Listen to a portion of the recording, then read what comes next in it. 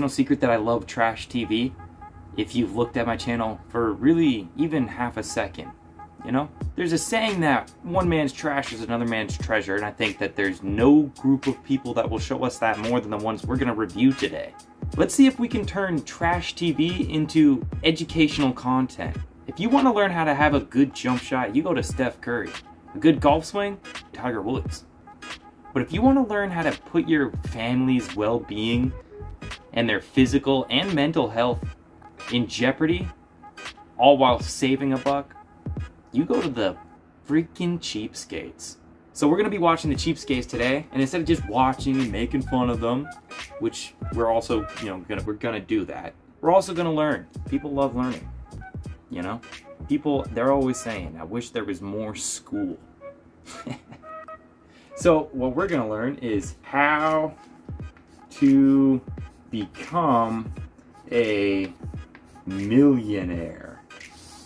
I'm too lazy to write the whole thing out, so you're gonna have to just know that hit bam is how to become a millionaire.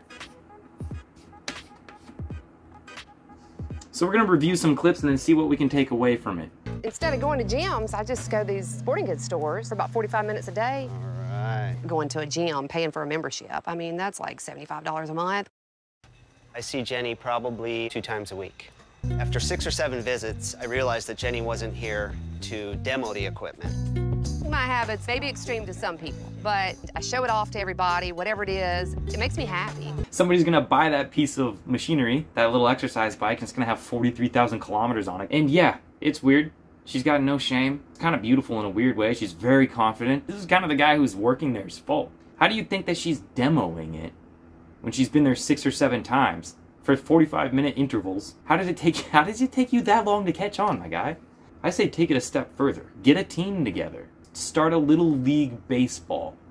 Is that what they call it? I don't know. Start a baseball team. Start just just play in the store. They got bats, they got ball, they got everything that you need there. Have a full game of pickup basketball.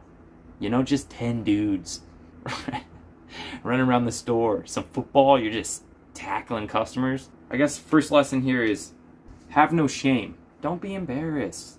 You know, a lot of people have trouble going to the gym as it is because it's filled with uh, active people. Maybe they're in better shape. They're in a different part of their progress than you. But what she's teaching us here is really, I guess, don't have um, social standards for yourself. oh boy. It can cost $60, $70 to fill up a tank. And then you go home and park your car in the garage and you may not go nowhere. So you just spent $60 to sit. I don't think she understands how cars work because um, you're not you're not spending money for your car to sit. I mean, that's obvious, right? I shouldn't have to say this. Gas make car go. So, Hey, can I get $3.36 worth of gas? You sure can. When I get gas, I only get a gallon at a time. One gallon of gas, one gallon a day, saves me money. Restricts where I go. this is all fun and games until her fuel pump gives out because it's, you know, constantly running dry. Then you spend like hundreds of dollars, if not thousands, to repair the car. Isn't it even less expensive if you just bought a bike and then you just rode it instead of driving to the place where you ride the stationary bike? If you're really trying to save money here, I don't, I don't know that driving every day to go ride a stationary bike makes the most sense. The real way to not spend as much on gas is to just not drive as often. You know, that seems, I shouldn't even, that seems clear.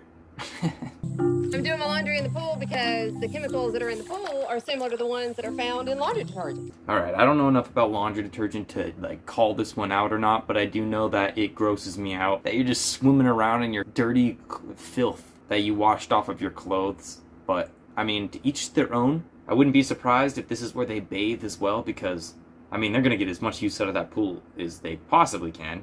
Also, they have a pool, they have a big house.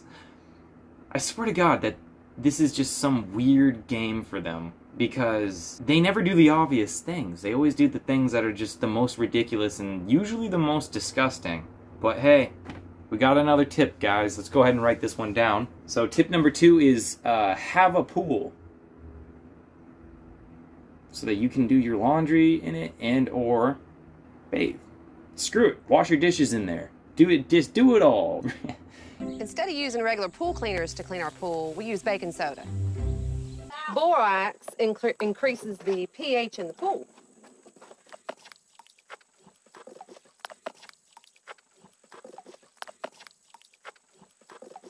Man, there's something terrifying about the image of her dumping borax in the pool that her kids are currently swimming in. Um, that doesn't seem incredibly safe and is honestly horrifying. I really feel bad for a lot of the families of and the children and the spouses of the people that do this crazy shit because you can't just pour borax in a pool that your kids are currently swimming in. I'm pretty sure the EU has like banned borax on claims that it impacts the reproductive health.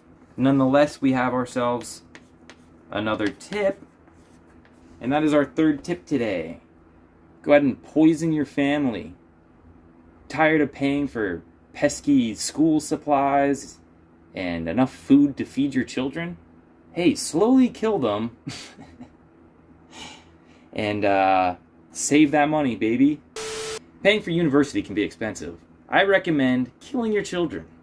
Hey, paying for university and school supplies and enough food to feed your children can get pretty expensive. That's why we here recommend that you just poison your family. Let's move on to our next uh, cheapskate. This one actually is a millionaire. So, hey, you know, this is going to be straight from the horse's mouth. So this is my family room, and again, this is not the fanciest furniture, but for a family room, it's nice furniture. They were a free gift about 30 years ago. You can't kill these things. You can dance on them. She's spilling out of her friggin' sandals. Look, I don't want to body shame, but what the what? But Uh, that's so mean. I feel kind of bad. But like, look, they're really displaying them. This isn't my fault. We were all thinking it. You can't kill these things. She's got the feet of Roger from American Dad. Look at that. Look at that big toe. It's longer than my damn middle finger, I swear. Wonderful lady, though, I'm, sh- I'm sure. I came to her house. She asked me, Did I want lunch? So I said, Sure. She fixed me a tuna fish sandwich.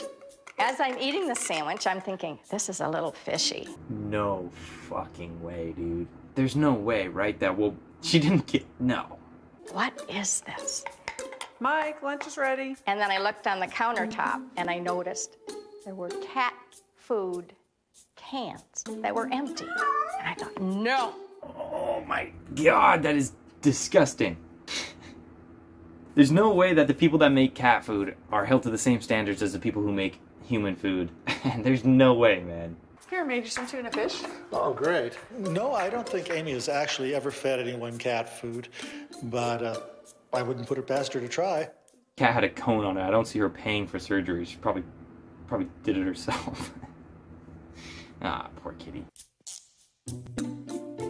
Tuna fish for people, 89 cents. Cat food for cats, 59 cents. I just saved 30 cents. Oh my god, that is horrendous.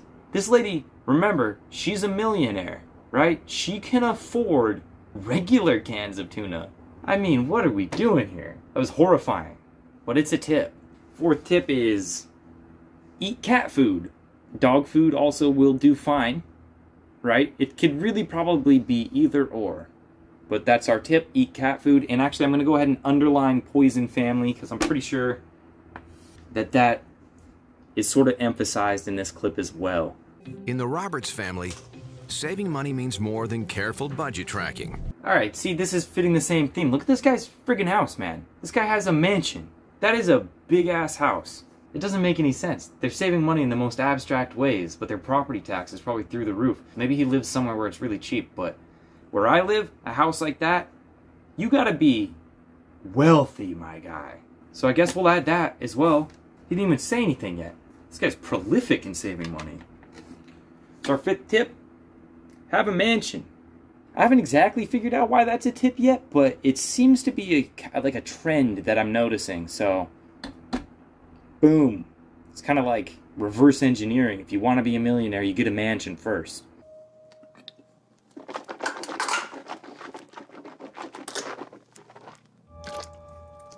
It just seemed like such a waste to only use mouthwash once when it's antiseptic anyways. There's 30 uses in that big mouthwash and about 30 cents a use. But if I reuse it a second time, that gets it down to 15 cents a use because I'll have 60 uses. Oh my god, you animal. You absolute piggy. What are you doing, man? What are we doing here? You filthy, filthy man. I just keep two bottles, one with the brand new stuff and one with the once used stuff. This one, though, is Christina's mouthwash because she doesn't like to do what I do, but I think it's great.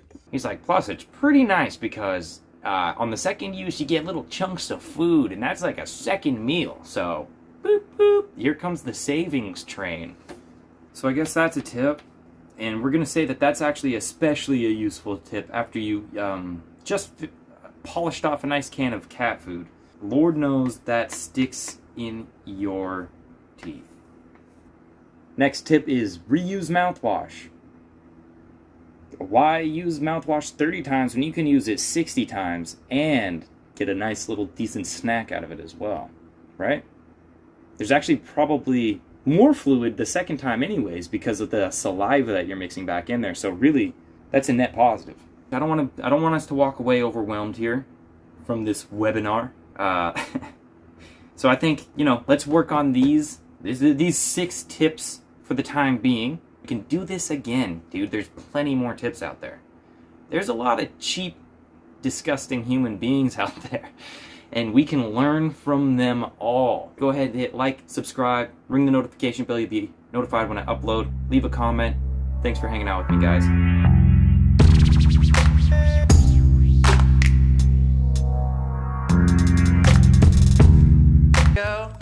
You can't kill these things. You can dance on them,